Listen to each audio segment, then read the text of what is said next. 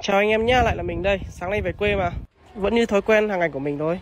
Thì à, sáng điên phở, về quê không khí nó trong lành quá. Kiểu nó thời tiết nó thay đổi ấy, chợt đổ mùa đông giữa mùa hè như anh Duy nói ấy. Thời tiết nó thay đổi thất thường, nó xoay chiều nào thì mình xoay chiều đấy thôi. Quán phở này thì à, đối diện bên đường nhà mình thôi. Phở của anh tên là phở Huy Tùng. Kiểu sáng hôm nay là 1 tháng 5 ấy, con cháu gia đình anh em bạn bè về cũng nhiều ấy. Nên là sáng nay quán sáng cũng tấp nập một chút, khói đông hơn thường ngày. Lúc mình đang quay chỉ chủ quán bảo thằng Linh quay kìa, làm cho đẹp vào. Kiểu ấy mấy anh em hàng xóm ấy thi thoảng vẫn nói vui với nhau vậy mà thì mình vẫn là nạm gấu. Bát này của mình là 30 ngàn. Cái cái nước phở ấy, thường nó là linh hồn của bát phở. Nước phở mà không ra gì thì ăn bát phở đấy cũng thành ra chán.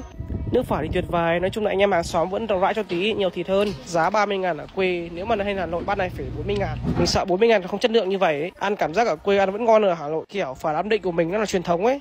Nên là ăn cảm giác nó vẫn là ngon hơn. Nói chung không phải chấm điểm làm gì. Đa số nó vẫn là điểm tuyệt đối. Ăn uống xong thì cà phê cà pháo sáng nay trời lạnh ấy, nên thành ra là uống uh, nóng. Cà phê thì vẫn là cà phê phin bình thường thôi. Nói chung là ở quê cảm giác nó vẫn sướng hơn ở hà nội. Nếu để là mà sống thôi còn ở trên hà nội chủ yếu là kiếm tiền mà. Nên là mình phải bon trên hà nội thôi. Ăn uống xong nghỉ ngơi thì bây giờ mình uh, đi, sang nhà anh mười. Gọi là hẹn nhau lên uh, thịt chó ấy. Xong mà lượn ra chỗ mẹ bảo mẹ chọn cho ít hoa quả ngon mang lên nhà anh mười. Mẹ mình bán vải vóc chăn chiếu gối ga các kiểu ấy này bla bla bla bla trông vậy thôi Đợt này nó ngọt mà. Bao tiền mẹ năm ba. Mẹ bán hàng từ thời thiếu nữ cơ. Đến bây giờ cũng là hai mươi mấy năm rồi. Nhà mình xuống nhà anh Mười cách hơn chục cây. Trời hôm nay tự nhiên mưa rét. Nói chung là cũng mưa nhỏ thôi không mưa to. Sau nửa tiếng đi xe thì đã có mặt tại nhà anh Mười.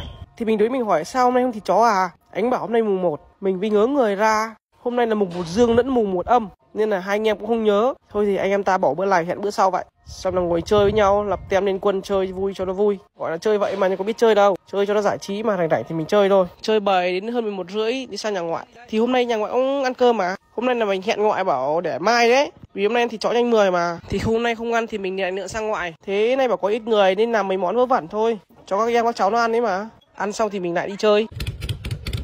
Sang nhà hàng xóm ở ngoại mà tính mình thoải mái mình cứ đi chơi mình cứ coi nhà người ta như nhà mình. Kiểu sống nó thoáng ấy gần gũi ở quê nhà người ta thì cũng coi nhà mình vậy. Thật ra mỗi lần mình về quê ấy mình chẳng bao giờ ở nhà hết ạ. Mình toàn đi ngoại trong lượn sang mấy nhà hàng xóm chứ ở nhà mình nó kinh doanh ấy, nó bé lắm ở khó chịu. Lúc này là chủ nhà đang hát.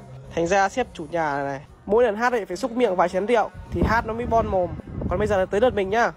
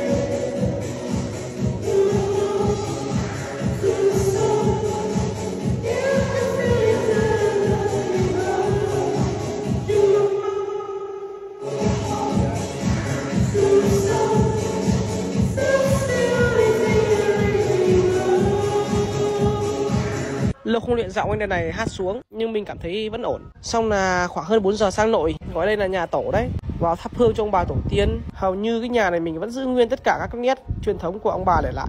Nói chung là chẳng sửa sang gì cả, mới chỉ lợp lại mái ngói thôi. Thường là một năm có vài ngày lễ tết thì anh em mới họp nhau thôi, thì tổ chức ăn uống ở đây. Xong nhá, kết thúc một ngày. Ok.